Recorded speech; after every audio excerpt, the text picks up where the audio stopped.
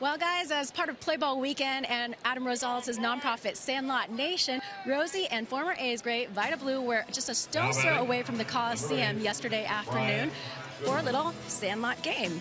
When I spoke to Rosie about it, he said it was awesome and that he was really impressed by all the kids' fearlessness and effort.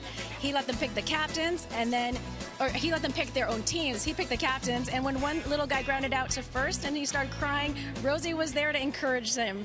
And he said the kids boosted his spirits as much as he did theirs. Guys, back up to you. Yeah, Rosie does a great job with that program. He's a good man, Adam Rosales. Well, I was talking to him down in the clubhouse, and he kind of said the same thing. He goes, "Man, it's Sandlot baseball." Sure. He goes, "It's nothing. It's nothing organized. It's just we usually get 20 to 30 kids and throw together a little game." Right.